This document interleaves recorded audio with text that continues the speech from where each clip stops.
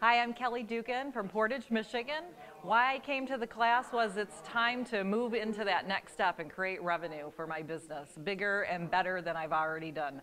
Been in the industry for quite some time. So what I've taken home with for me is that uh, uh, lots of uh, aspects that I can move, but definitely just to simplify and get that next yes and move business forward.